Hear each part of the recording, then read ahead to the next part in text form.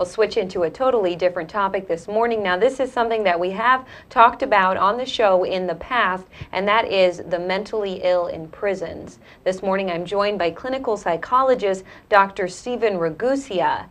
This is a huge issue. To give you a little background, the number of mentally ill in prisons is six times the population of the Florida Keys.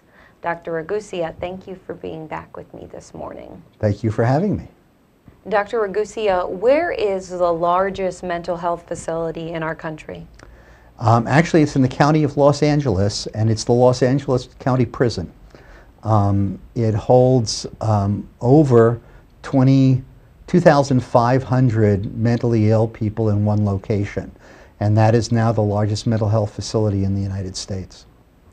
Dr. Ragusea, this is an issue that you have, you've followed it very closely the past couple of years that you've been in your practice. Can you tell us how many prisons and jails you yourself have been into? Oh, dozens. Um, I've been to county jails, um, uh, state prisons, and federal penitentiaries of all different kinds and qualities.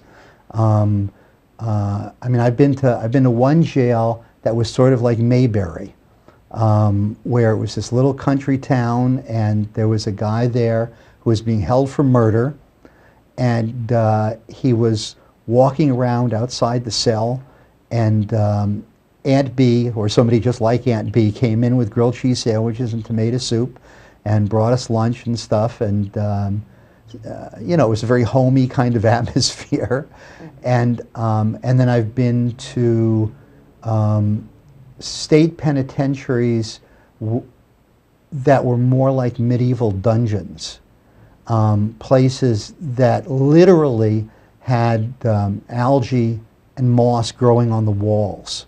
And, and, and sometimes water would drip down those walls. Um, very dark and dank.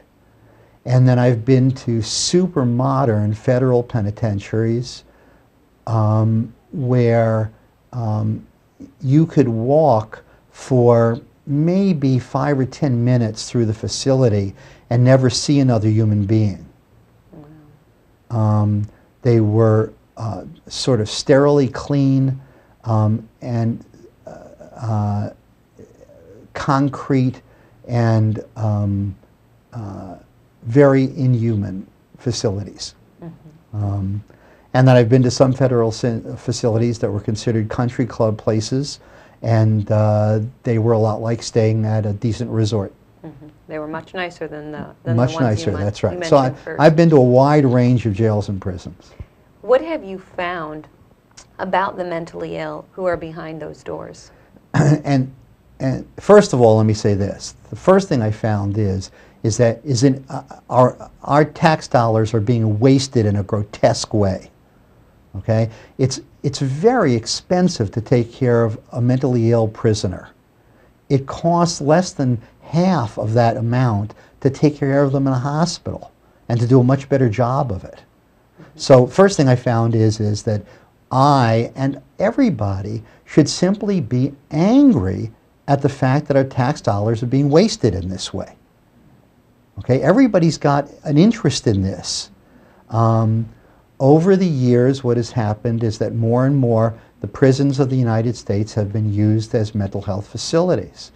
And, um, uh, and the reason for that is because it's a whole lot easier to get money to buy a new prison than it is to get money to buy a mental hospital or to build a community mental health center or to fund treatment in that mental health center.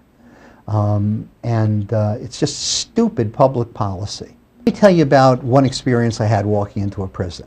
Um, this was in um, a state penitentiary um, in, um, in Pennsylvania.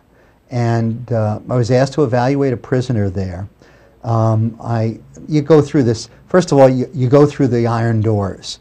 And you know, you walk in and you suddenly realize that you're not free anymore, even though you're just a visitor.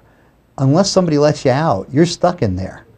And you go through iron door after iron door after iron door until you finally get to whatever unit is that you have to look at the prisoner at.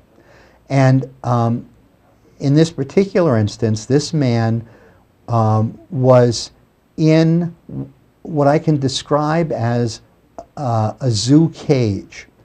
Um, it was behind bars, it was circular, and um, there was the, a guard station right next to it. Um, uh, this was a unit where they kept a lot of the mentally ill prisoners. And in this little cage, they usually kept the worst ones. And um, this guy was standing in about a foot and a half of toilet paper, paper napkins, and other fragments of paper, newspaper, things like that, that were all torn up and scattered across the floor about 18 inches high. Um, he was stark naked, and he was eating his lunch out of his toilet bowl. Frightening, Dr. Ragusea, to see that. And when I talked with him, he, um, he talked with me about being a representative of Landru, who was a character on Star Trek, by the way, many years ago, and um, how he was this emissary from this other world and Landru, the superior being on this planet that Captain Kirk had stepped on. Um, and that's who he believed he was, and what he was doing was simply there representing Landru. And, and this man was clearly suffering, clearly being treated in an inhumane way. None of the guards knew what to do about this guy. Um, and he was severely mentally ill. Now, why is a man like that in jail? Right. Why isn't he receiving treatment in a mental health facility? That's right. And the answer is because it is now easier and cheaper for us to put him in jail than it is to get him treatment in a mental health facility.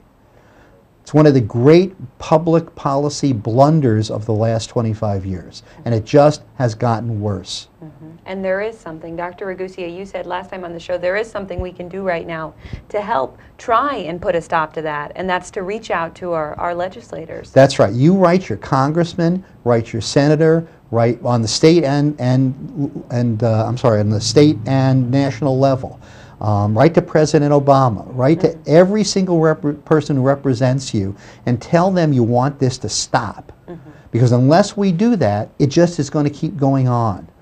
If they act soft on crime, they're afraid they won't get reelected. But you have to be smart as well as tough. And um, this is an enormous waste of public dollars. Absolutely. Dr. Ragusea, thank you very much for being back on the show with me this morning and for letting our viewers know about your experience in the prisons and jails across our country.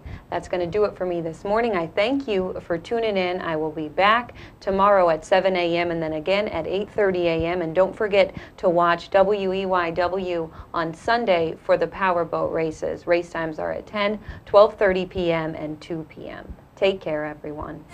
If